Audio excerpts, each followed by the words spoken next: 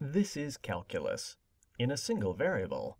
I'm Robert Ghrist, professor of mathematics and electrical and systems engineering at the University of Pennsylvania. This is an online course to debut on Coursera January 7th, 2013. The course will last for 13 weeks. I'd like to give you a preview to the styling and structure of the course. The course consists of five chapters. In chapter 1, we'll begin with the exponential function, e to the x, and from that develop an approach to considering functions through approximations, series, and Taylor expansions. This feeds into chapter 2, where we set the course in motion by reconsidering the idea of derivatives and differentiation from our new perspectives. In chapter 3, we undo differentiation and consider integration. Motivated by simple problems in differential equations, we develop the indefinite and then the definite integral and consider methods and techniques of integration.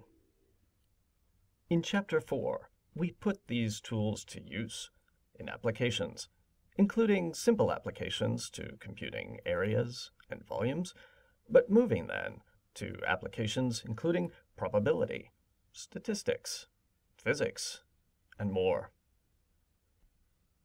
In Chapter 5, we consider, instead of functions with analog inputs, functions with digital inputs, or sequences. We then redevelop all of calculus for such functions, including limits, derivatives, differential equations, and integrals. There are several prerequisites for this course, including basic algebra, the ability to deal with exponents, to deal with polynomials, and the like. From time to time, we'll skip some of the algebraic steps in our calculus work, and you're going to need to be able to fill those in. You're also going to want to have a background in basic geometry, working with planar curves, some three-dimensional shapes, volumes, areas, and the like. Exposure to trigonometry is a must. You'll need to be familiar with sines, cosines, tangents, and their relationships to angles and triangles. Some precalculus background is also necessary. You're going to need to know what an exponential function is and what its inverse, the natural logarithm, is. Lastly, this course is not for someone who has not seen any calculus before it will be assumed that you know how to compute the derivative of a polynomial, or the derivative or integral of an exponential function.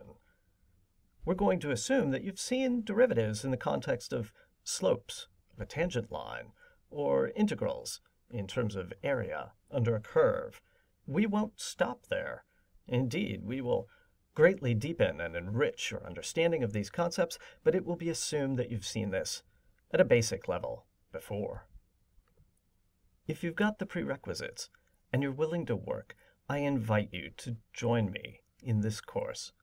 Whether you're a student learning calculus for the first time, or whether you've had the subject before and need to review or see things from a fresh perspective, this course will give you the tools that you need in order to succeed.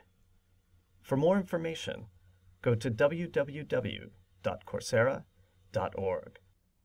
I'm Robert Ghrist Thank you very much.